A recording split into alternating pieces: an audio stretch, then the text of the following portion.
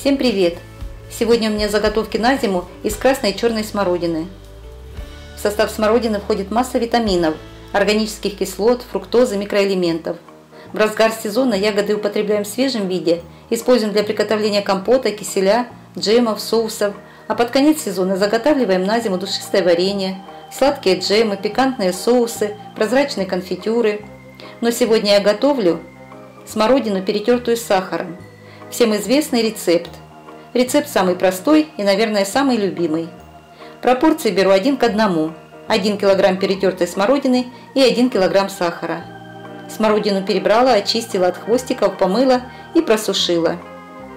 Измельчила блендером. Затем протерла через сито.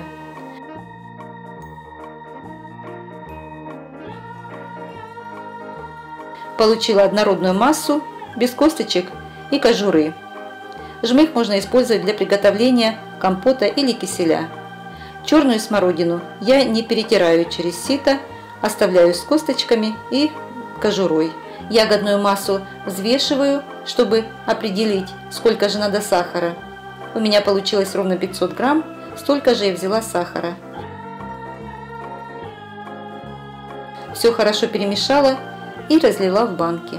Очень важно банки и крышки предварительно простерилизовать, так как наша заготовка не подвергается тепловой обработке. Стерилизуйте банки любым удобным вам способом. Раскладываю массу в банки, но не доверху сантиметра на 2, для того, чтобы заполнить сверху эти 2 сантиметра сахаром для лучшего хранения. Закрываю крышками и храню перетертую смородину в холодильнике. Хранится такая смородина всю зиму до весны. При таком методе заготовки сохраняются все полезные свойства ягод. Это самый витаминный и самый популярный в холода и очень простой припас на зиму. В осенне-зимний сезон заготовка из свежей смородины – незаменимое средство для профилактики и лечения простуд, для укрепления иммунитета и просто для вкусного чаепития.